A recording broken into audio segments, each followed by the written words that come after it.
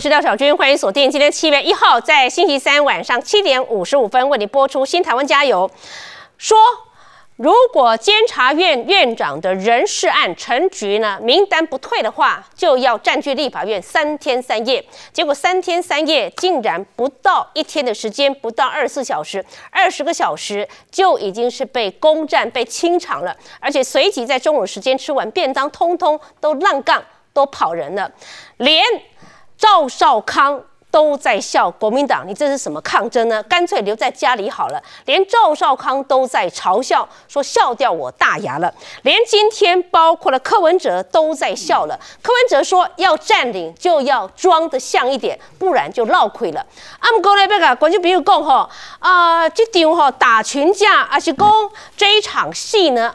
竟然到目前为止，今日是拜三，还未算呢。因为国民党的立法委员要告啊，要告向呢，要告吴炳瑞，公你要置我于死。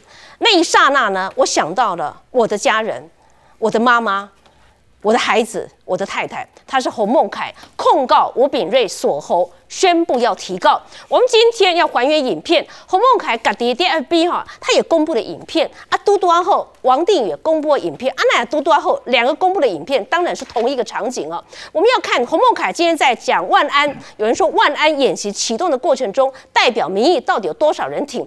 他陪同洪孟凯所召开的记者会，他说民进党把暴力合法化，令人不齿。但是洪孟凯说，为什么要告呢？你锁喉已经超越了攻防底线，如果不告的话。哇，这怎么得了？揭开潘朵拉的盒子。好，一个意淫，因为牵涉到邱意淫，邱意人就在当当时的现场哦。我们稍后呢连线给邱意淫，也为我们还原到底他里头的角色是什么。那洪孟凯跟邱意淫当时互动又是什么？那独家连线给他的同时呢，事实上呢，你知道吗？立法院怎么会出现这种哦，有十公分哦，在我身旁的这个刘兆豪大哥，他特地带出十公分钉在立法院大门的。钢钉哦，那叶玉兰给他赶紧供哪一个人钉的？他已经把答案讲出来了。我们稍后试图要连线，因为我们发现，当整个历史建筑被破坏，而且文化局说最高可能会罚两百万元的同时呢，竟然知道说，在当天有人在立法院发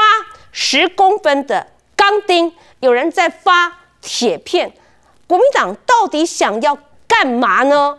如果有人撞上了钢钉，你觉得只是伤人而已吗？不恐怖吗？当然，在全球都关注全球的反对，包括反弹跟谴责的声浪。香港的国安恶法在今天开始上路了。你觉得香港是不是形同今天就是进入的戒严的状况呢？但是在高雄市长三个呃市长的补选的候选人来看看他们的态度到底是什么？当然，我们想知道是从今天开始到香港安全吗？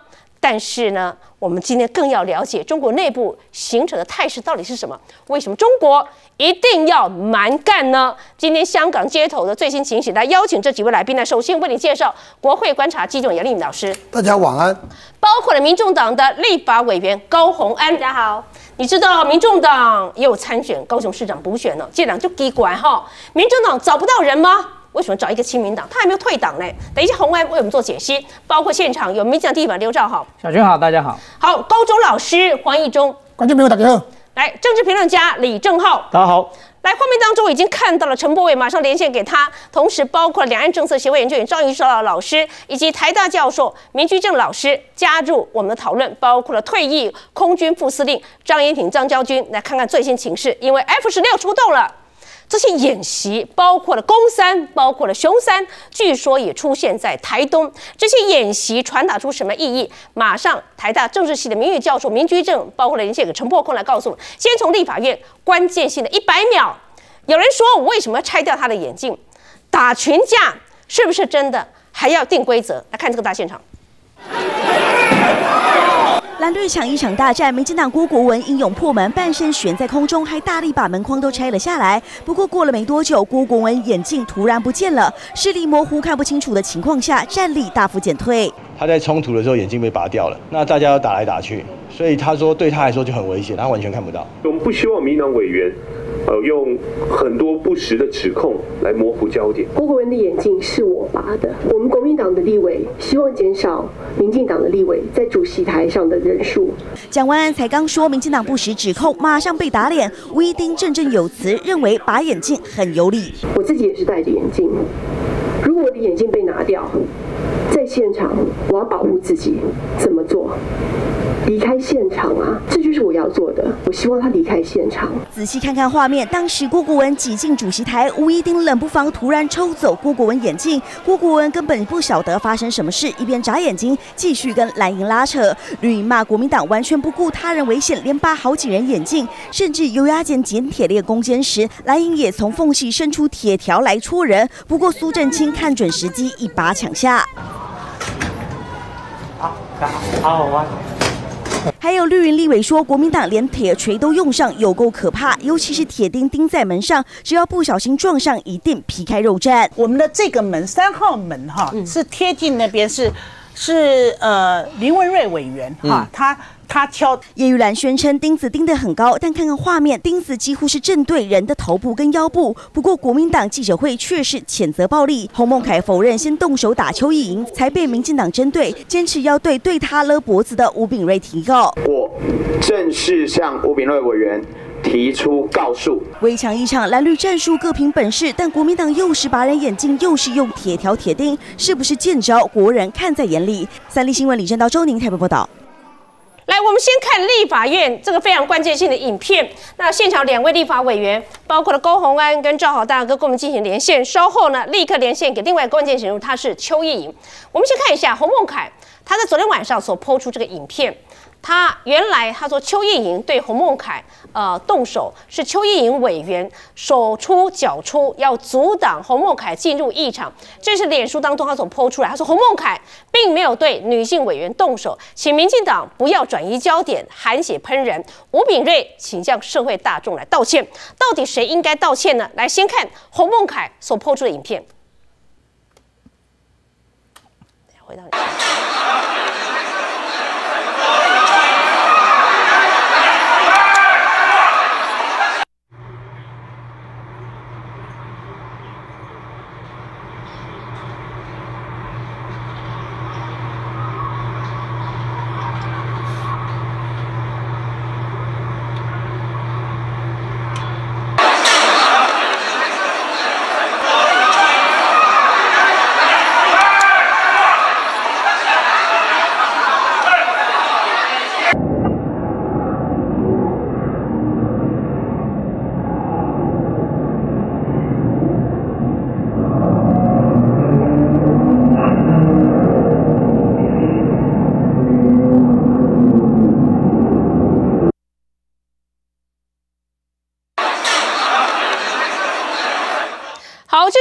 所抛出的赵大哥，我让你来看，继续是王定宇，同样要还原事实。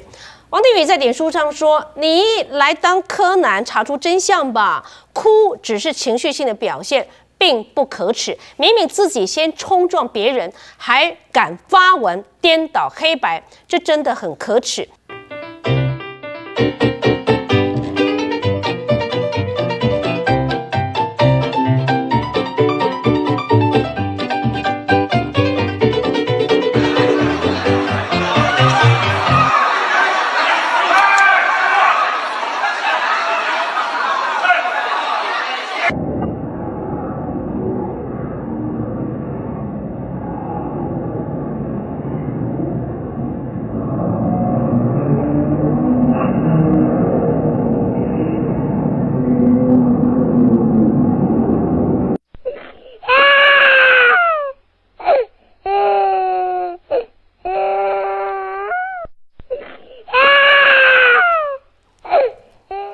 这是小编把它加出来的声音哈，这跟立法院的声音这个一 on air 哭声没有关系啊。来，我看这个子母框，张大哥，你人也在现场嘛哈？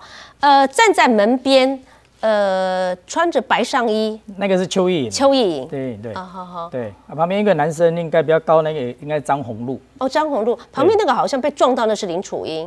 啊，这现在现在被被被就进来那个那个就洪孟凯。那洪孟凯为什么会被人这样这样子撞进来，还是抛进来？为什么？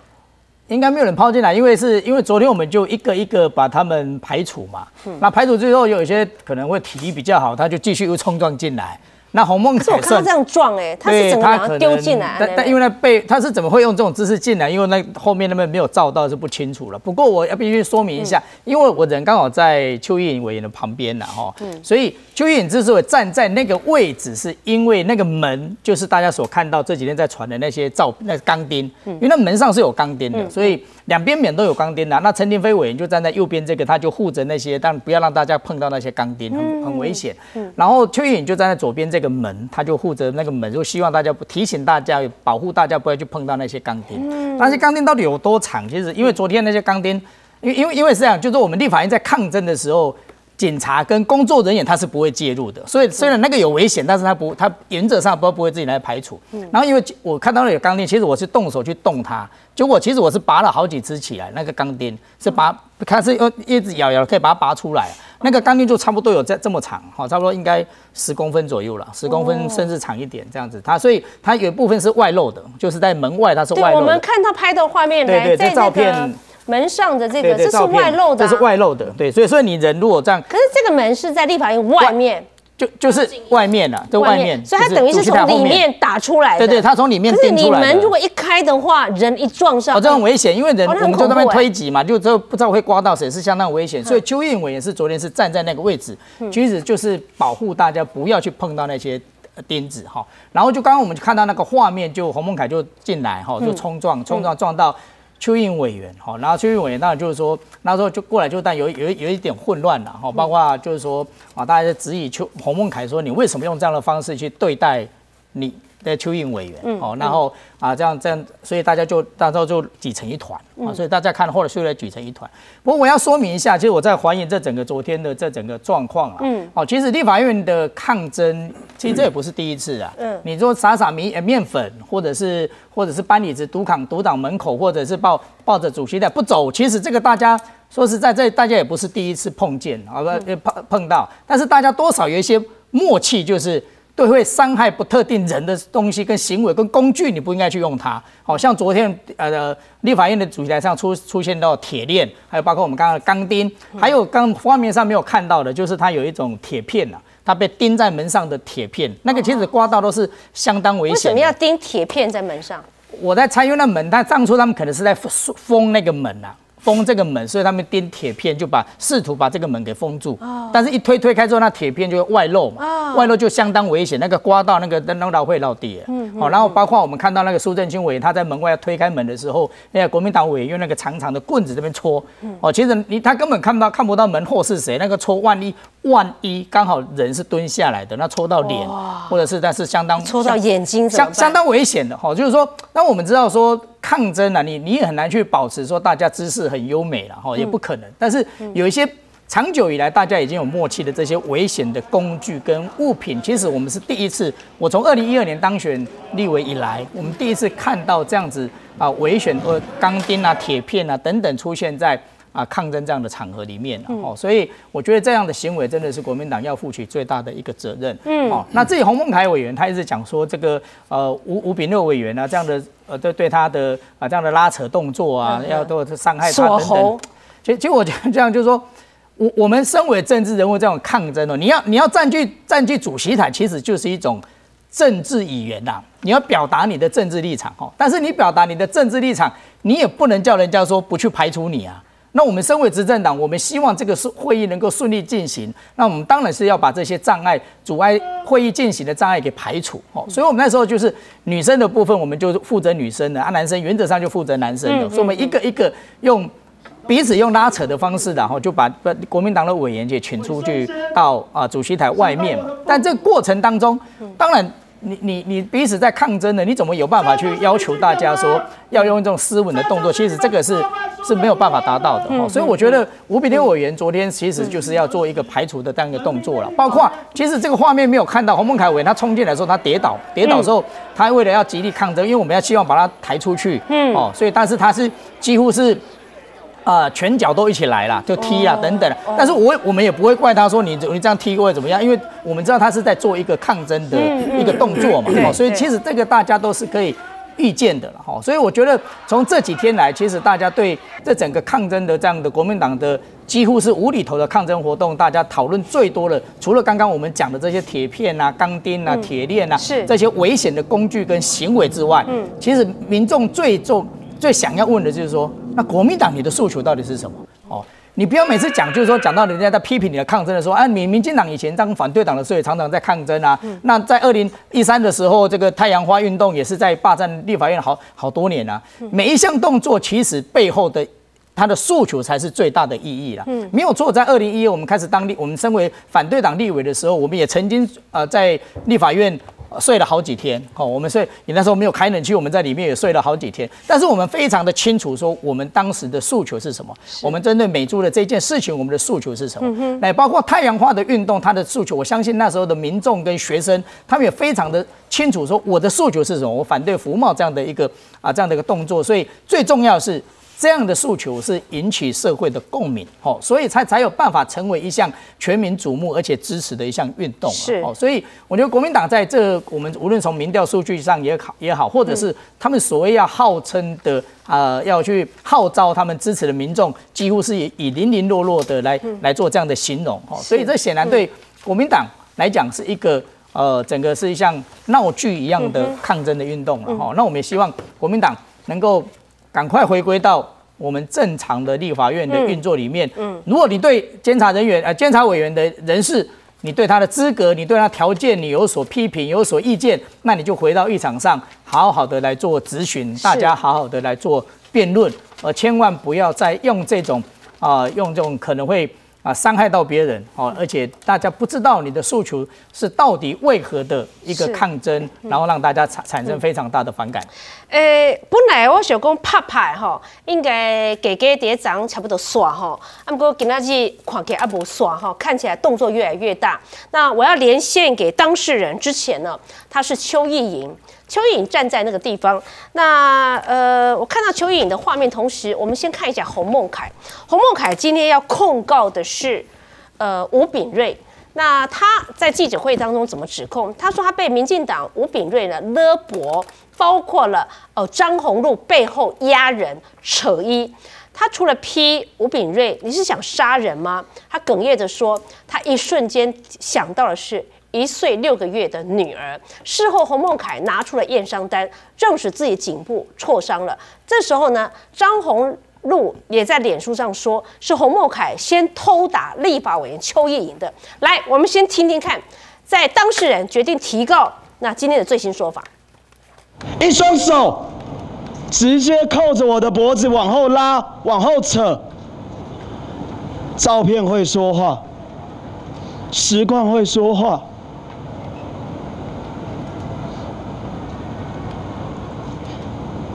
我一瞬间想到我一岁六个月的女儿，我一瞬间想到我的父母，这就是民进党吗？这就是你们过半数的国爱吗？民进党主席蔡英文，你认同这样的行为吗？你认同这样的杀人暴力行为吗？警的行为已经超出了一场攻防的底线。如果这样子被允许的话，那如同打开了潘朵拉的盒子。往后是不是一场攻防都可以对任何委员勒脖锁喉？这是执政党要向社会大众传达的讯息吗？立法院是国家最高的民意殿堂，攻击要害、有致命危险的动作，应该不分蓝绿共同谴责。意识冲突的拉扯在所难免，但是超越界限就不应该被容许。何况到目前为止，民进党全党上下毫无忏悔之心，毫无亏欠之意。令人心寒，也因此，我们我正式向吴炳瑞委员提出告诉，也希望，也希望吴炳瑞委员真的正视这个问题，不要再审理。向社会大众道歉。好，这是他今天最新记者会，连线给邱意莹哈。来，意莹，呃，我看到你的画面哈。我们刚刚播放，因为洪孟凯自己脸书也放了一分钟的影片嘛，哈，这个影片跟王定宇放的影片是一样。你自己是当事人哈，我看那个影片，你穿着白色的上衣跟黑长裤嘛，你站在门边，你那时候为什么站在那个地方？为什么？嗯。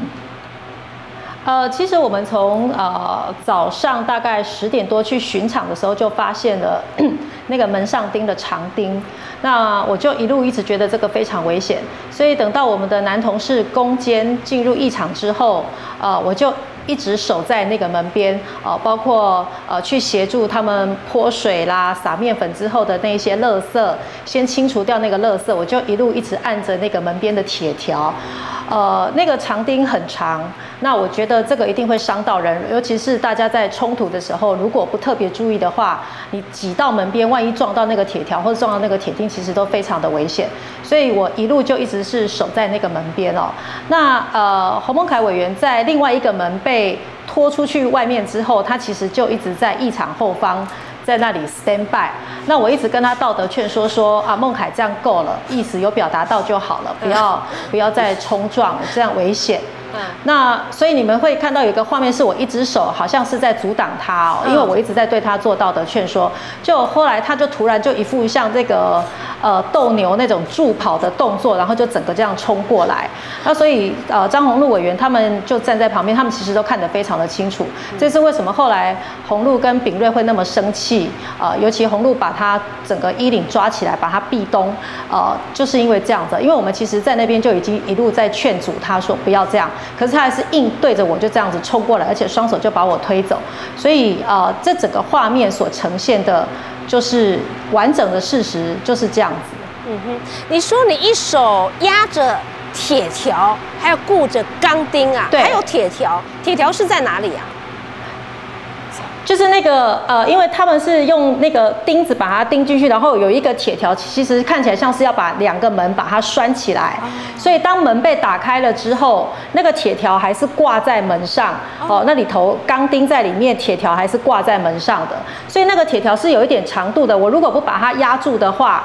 那个露出的那个铁条，其实如果大家推挤到门边，有可能都是会受伤的。包括我如果没有一手压住那个铁条，侯孟凯从那样子撞过来，他也有可能会从另外那个角度撞到铁条，会受伤哦。所以我就。一路这样，我戴戴着手套，一路上就是一直压着那个铁条，所以在整个昨天的抗争的过程里面，我其实是没有进到主席台，我都是一直在那个门上，就是在那个门后一直在顾着那个门的。对，我我印，我听你这样描述，我觉得很恐怖哎，不幸中的大幸，因为是我看那个呃，刚刚赵好大哥有秀出啊。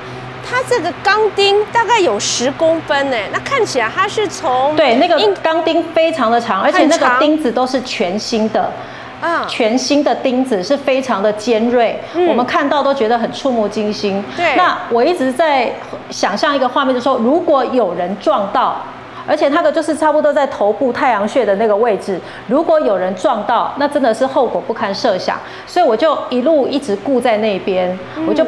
不希望有这种所谓的流血冲突发生。那当然，洪孟凯委员他呃被另从另外一个门排除之后，他在后面助跑，我就一直跟他说：好了，这样够了，不要不要再发生冲突哈，不要再冲进去了，这样就好。所以他还是他还是就是不听劝阻，然后就一路这样撞过来。所以没有什么我主动对他动手这件事情，你们大家可以很清楚从那个画面上看到，我的手就是一直扶在门上，我就是在顾着那个铁条。你就突然间好像一个人按那按那木起来冲进来，那呃，其实你反而是有一点担心，不断要助跑冲进来，他去撞上那个钢钉。是啊，是是是。是这样，那呃，所以我是一路一直跟他讲说，呃，孟凯不要这样，不要这样就好了。哦，我觉得这个是不需要。包括其实我觉得大家在一场里面冲撞是难免的哈。那比如说像呃郑丽文委员，他的脚受伤，所以他昨天被呃排除排出来抬出来的时候，在一场后方，我也跟他说，哎，丽文你就你就坐着就好了，因为你的脚已经受伤了，不要再进去，这样可能脚会伤得更严重。我觉得基本上大家还是会有一些同志爱啦，在里面的冲突归冲突，但是你真的看到有人受伤的时候，大家还是会有一些同志爱。那孟凯是个小老弟，他。被排除之后，我就跟他说：“这样就好了，这样就够了。你们的意思表达到了，那你硬要这样子撞过来，第一个真的是非常的危险，因为那个门上是有钢钉的，这个是非常的危险。如果我今天被你撞倒，是我刺到钢钉，是我受伤，或者是你自己去刺到那个铁条受伤，那这个责任到底要算谁的？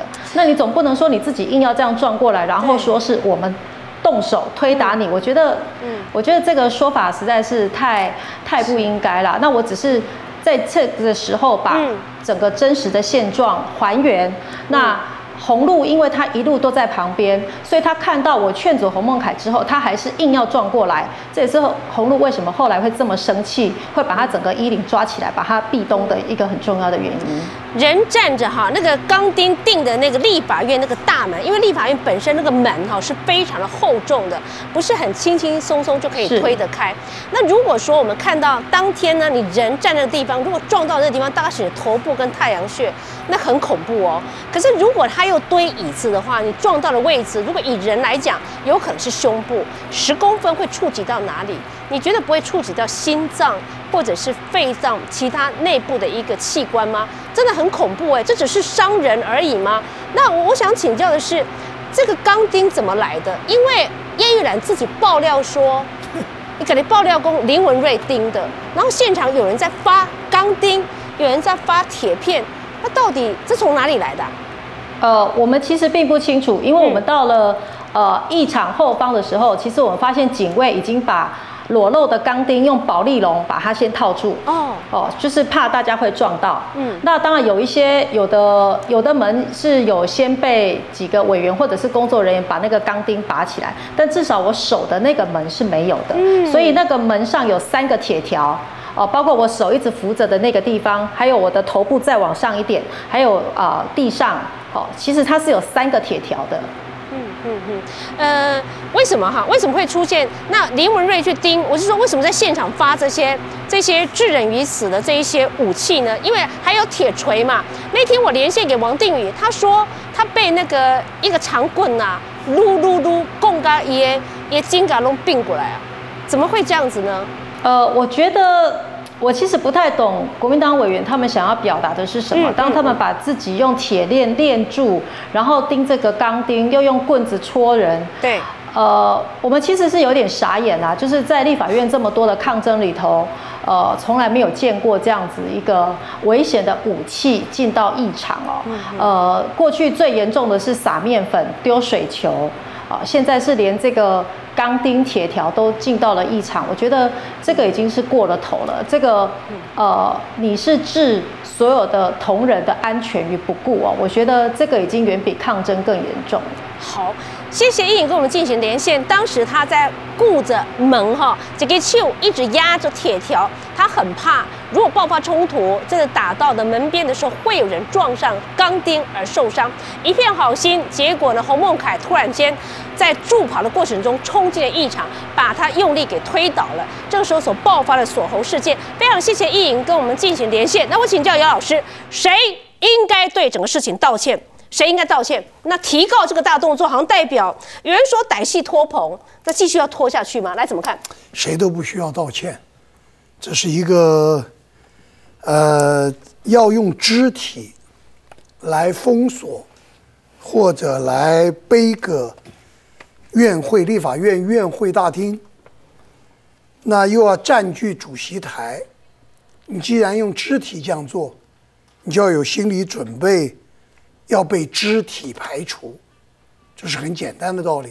我在做立法委员的时候，也多次，那个时候也是以国民党为对象，多次在肢体碰撞中间，自己被挨了几嘴闷拳，这根本就是理所当然的事情。因为你肢体上，你想用肢体来背个来封锁主席台，别人就会用肢体来排除嘛。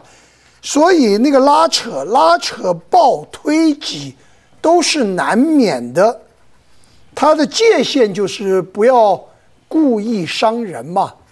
那刚才我们所看到，从头到尾那根铁钉也好，铁片也好，钢条也好，那就是超过了不伤害人的界限嘛。那只是因为万幸，不幸中的万幸。这些钢钉都没有伤到人，否则的话，你最后的结果还是一样被排除。可是中间可能就有人受伤了。那个钢钉不能够排除或者保卫你的主席台嘛？这是一个非常简单的道理啊！你要晓得，像洪孟凯这样子开记者会哭哭闹闹的，图被社会大众耻笑而已。因为事实。早已被多数民众认知，谁看了那个场景都清清楚楚知道，没有人要造成任何一个人的伤害。你这样子去控告，其实只是想无中生有的去无事生非而已嘛。换句话说，你根本就啊呃，明明这个这有点是恼羞成怒，也就是输了一场。退守出来院到院外以后，还想用另外一个议题继续去干扰议事，继续去干扰执政党的这一个临时会嘛？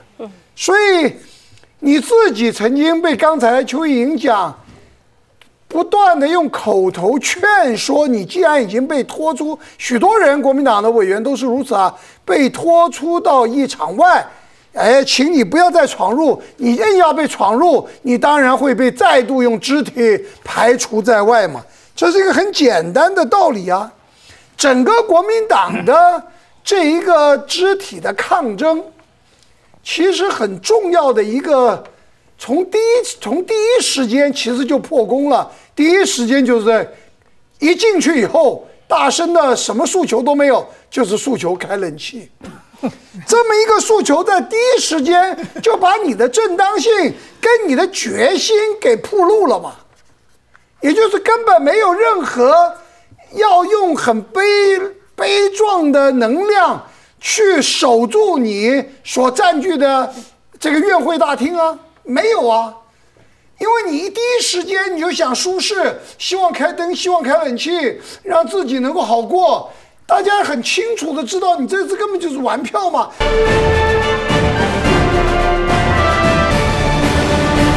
因为他们晓得你的决心跟抵抗力是弱的嘛，你都被看穿了。国民党在这一场，我不讲，我不能讲说是闹剧了，可以说是玩笑一场，把这么严肃的一件事情，用这么轻蔑的方式去对待。表演的好像很悲壮，好像很有准备，事实上被在被执政党也看穿了，被社会大众也看清了，然后你事后还要移转焦点，说我被人家锁喉了。事实上你会好好的在那里，没有任何人，任人都看得出来那个影片推拉扯暴击。这都难免的动作，哪有特别要索你性命的意思呢？没有任何这种意思。你就算告到法院，也不会有任何的下文嘛。嗯，这只是徒增。自己的烦扰而已。呃，以我过去跑立法院的经验，立法院打群架应该没有定定什么规则了哈，什么动作可以，什么动作不可以，没有嘛哈？没有啦，没有嘛哈？大家其实都可以预见说，这个一定会抗争，难免会付出代价。哪些动作可以做，哪些动作不可以做？那立法院呃打群架，从里面打到外面哈，我也常常看，但是我也很难看到有司法。有受理过什么样的案件呢？哈，应该这个其实就是政治 表达。司法机关应该也不太会去受理嘛，哈。那问题是，刚刚邱颖也跟你也都特别提到，你们当立委当这么久，第一次看到有出现这种钢钉，还有铁那个铁片，哎哎，钢钉，哎这钢钉装去兜里哈，我滴滴杯这嘴机哈，哎，因为说在现场发，因为看起来它是到处在钉了哈，呃，钉到真的，我觉得。这次真的是你这次不是伤人呢，嘿嘿嘿，给堵掉哈，嘿不小心穿过去，那个真的会敲呢。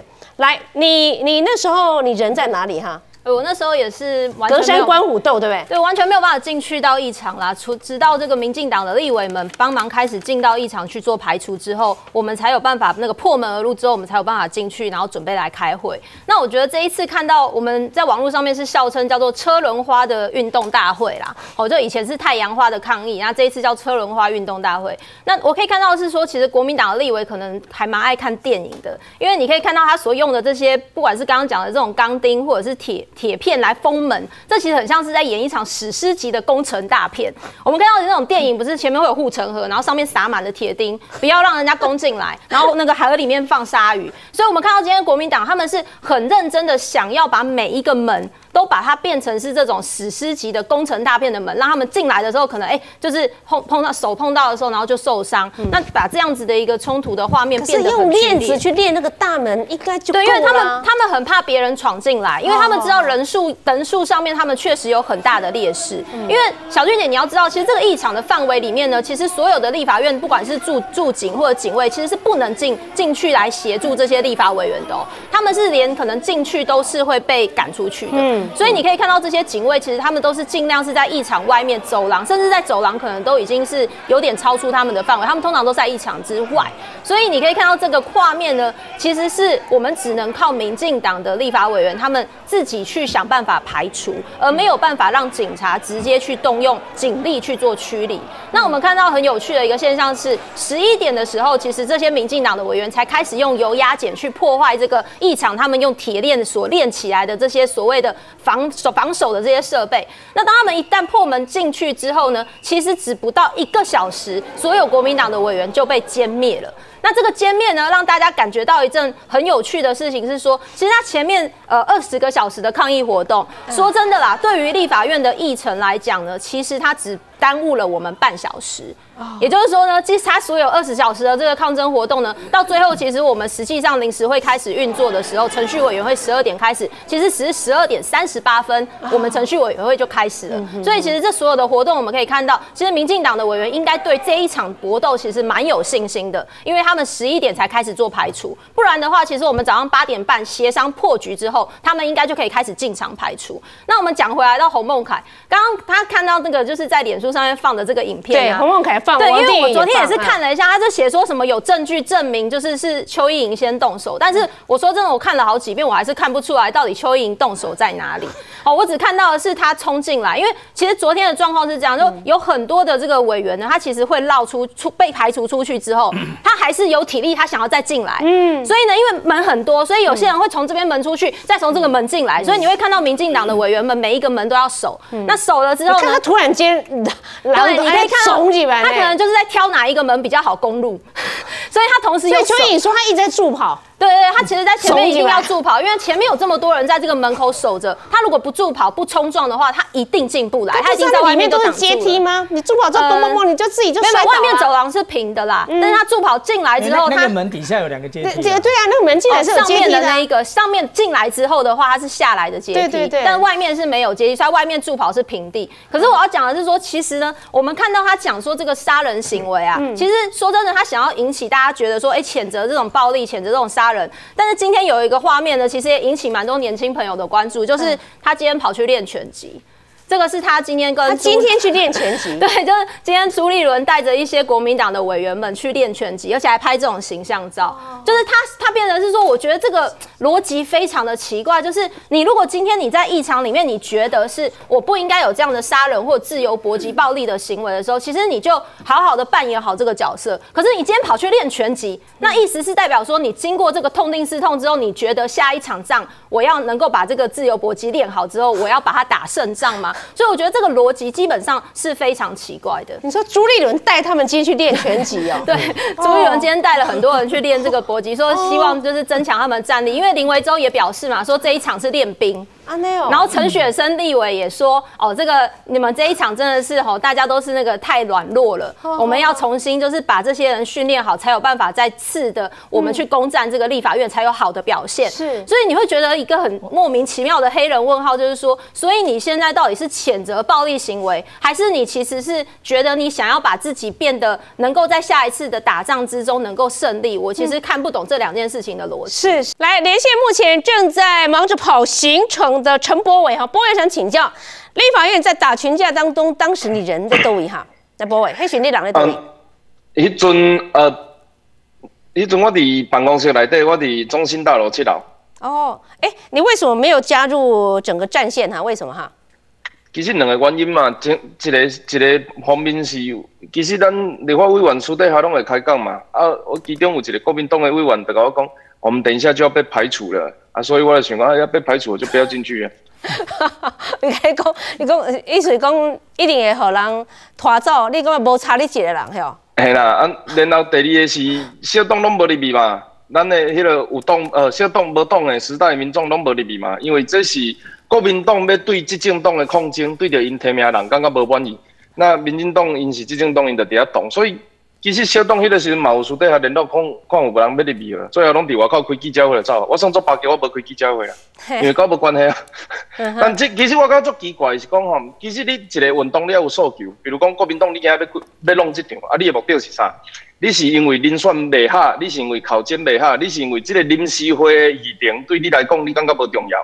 那你你的诉求是啥？那如果是针对人，伊这个足奇怪代志，就是讲，其实这是你的办公室，你甲你的办公室弄破去，啊，结果入去内底大，啊，实际上破坏了，佮还钱，搁要提过，所以你的运动的目的，甲伊的诉求吼，无明确，总倒底着，伊甲三一八运动上大的差别，就是后壁无人对起来，嗯，后壁无人对起来，民众毋知影你要创啥，毋知影你的目的是啥，甚至是不到后壁。你的主要的诉求够降级，有人大家听无？对，来这个呃，你我看一中你应该很有感想哈。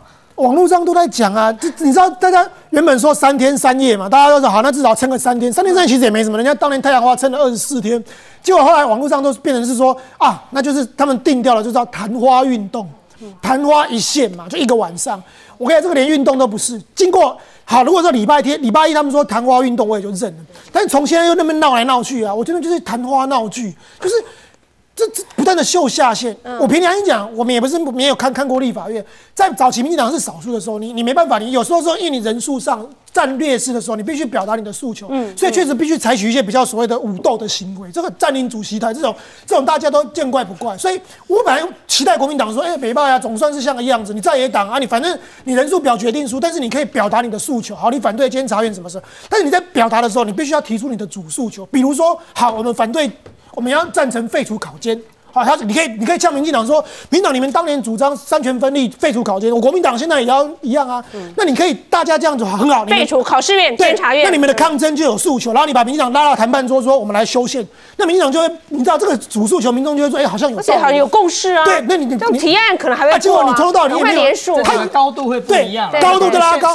结果他也没有去提说他们要废除稿监，他们就说好像反对陈局，然后就开始去那边冲撞啊，你就让人家觉得说你就是你就是针对一个人，你就是针对陈局这个人，所以然后。你可能因为上礼拜你们的那个副院长，民进党提那个国民党，你们又不开心。反正总之就是让人家觉得你是在一种私人的报仇。好，那也就算了，私人报仇啊，你你别算，你别玩 K 的算。网络上讲啥？三十几月怕输五十几月他们倒啦，因为嘿吴平内五十几岁嘛，啊孟凯三十几岁嘛，啊你少年的怕怕输老黑啊，讲他们倒讲讲老黑啊，搞我欺负啦。这你看这个东西，网友是。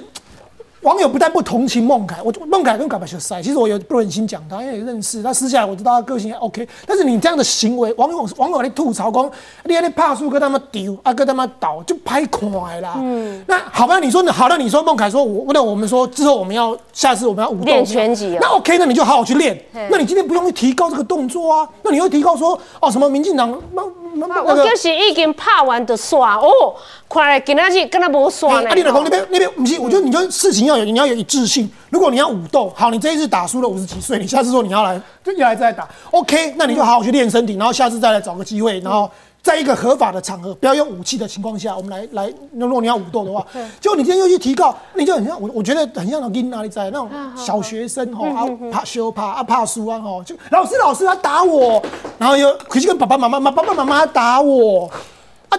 然后隔天他又去闹人家，他又说：“哎哎，打大打架，然后又打输，老师老师他又打我。”你知道这种东西连小学生都看不起啦，所以我觉得今天很可惜，就是说一个在野党本来就应该可以有有一些那太阳花以前有用钢钉吗？哎呦，拜托，那哪块还有吗？你看一下这个画面这个是哈当初太阳花的那个哦，当初太阳花来，你秀一下。这些学生，你看嗯他们就是，他们也是不希望被排排被被排除。可是你看，从头到尾没有人用钢钉啊，嗯不像国民党这个用钢钉这样钉出来。所以你看，第一个太阳花有诉求有正当性，第二个他们是用比较和平的方式，他们是他们没有用攻击的方式，所以你可以看外面的反应，你知道。像太阳花当时是当天晚上，外面就好几万人在那对声援，结果国民党这一次的抗争呢，隔天早上，嗯外面不到几百人，然后爱理不理的，然后他们不是说号召大家去去包围立法院，结果不然被起，啊不然被起，最后被排除以后就一场闹剧，所以我觉得这真的是滑天下之大稽，连这个柯文哲都说，哎、真的是母堂闹鬼哈！为什么连柯文哲，包括了赵少康，都在嘲笑他们说啊，是笑掉我大洋。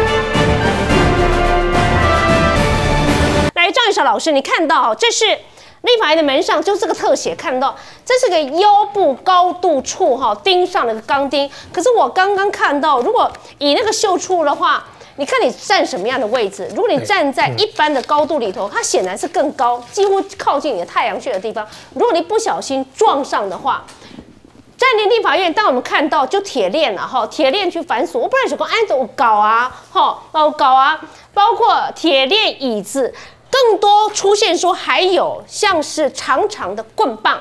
长长的棍棒之外，还包括说有用到铁锤了哈。来，情绪这样的演变，包括今天朱立伦带家带大家去练拳击，但你怎么看这样情势演变？国民党很有趣啊，他有焦土作战的道具准备，却没有呢寸土必争的决心跟意志。你光秀这些道具啊，一副给社会大众跟准备要冲进来民进党的人啊一种恫吓，什么恫吓呢？小心哦，我这里有棍棒哦，这里有铁钉哦。可是啊，你被人家看破手脚的地方是呢，冲进去之后啊，除了道具吓人之外，你的意志跟你的决心根本都不够嘛，这是第一点。第二点是什么呢？关于侯孟凯的事情啊，我写了一段啊，这种啊，OK 有趣的这种评论啊。简单来讲，投资理财有赚有赔，申购前呢，请详阅公开说明书。立法院抗争肢体语言在所难免，回去练好身体啊，健步如飞，卷土重来啊。所以今天呢，看到洪孟凯啊跟陈以信啊，哇，刚才那个我们的委员呢有秀出来，我再给大家看一下。嗯，看到这样的国民党啊，我觉得啊 是有前途的啦。他们今天去练拳击他们开始练拳击嘛，虽然为时已晚呐、嗯身体呀、要像一中这么强壮啊，嗯恐怕也要练个半年重量训练嘛。但是啊，这是一种决心的表现啊。嗯从现在开始呢，哇，自由搏击。对，或是呢，准备练啊，当洛基练拳击，这样的国民党可能有救了。但有个最可笑的问题在哪里呢？所以刘正好他，你以后在立法院你要戴钢盔吗？是不是啊？我我要提醒国民党，我们现在历史上看见的这个抗争运动获得人民的诉求，绝对不是靠自由搏击哈，完全没有这只是技术层面的问题，什么意思呢嗯？这就好像是呢，国民党中央找了一个数位诸葛亮，但是呢，数位诸葛亮徒有网络的一些啊操作的技巧，但背后没有核心价值嘛。你搞了半天呢、这都是技术层面的问题。嗯，就算这些人呢、把身体练得像啊兰波洛基一样啊，但是呢，因为你的诉求基本上不能唤起社会大众的这个支持，或者是呢澳元，你身体练得再好。一又怎么样？嗯，还不就是你们这二十一个人，或这三十几席国民党立委，都变成了国会的超级蓝波，